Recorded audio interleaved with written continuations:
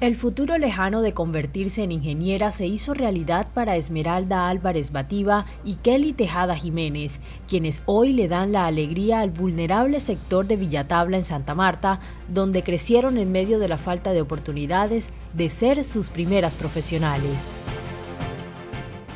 Esmeralda y Kelly desafiaron un destino que parecía escrito, superaron las adversidades y encontraron la oportunidad para acceder a la educación superior gracias a las becas del convenio entre la Universidad del Magdalena y las fundaciones Sociedad Portuaria de Santa Marta y Tras la Perla de América. Y fue bastante bueno porque económicamente tampoco estaba bien.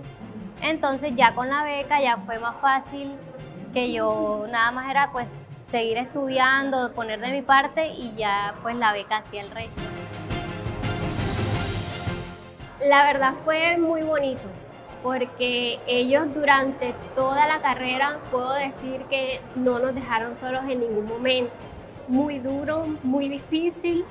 Eh, la fundación junto con la Universidad de Magdalena me brindaban pues apoyo psicológico para llevar todo el proceso.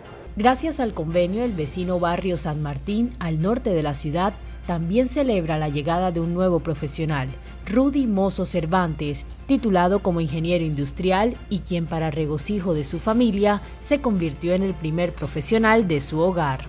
Un ejemplo de, de aprovechar las oportunidades, debido a que de pronto los jóvenes del barrio piensan que no tienen oportunidad de salir adelante por los recursos pero si nos informamos bien y si buscamos, pues podemos lograr las cosas que nos proponemos con el apoyo de mi familia, de la Fundación Sociedad Portuaria y de la universidad, claro está. Los sueños materializados de estos tres ingenieros y la esperanza que nace en sus familias y comunidades ratifican el compromiso de Unimagdalena de transformar vidas mediante la educación superior de alta calidad. Ser una universidad pública te da mucha, muchas esperanzas de poder tú sentir que puedes lograr ser alguien mejor, aportarle a la sociedad, a, tu departamento.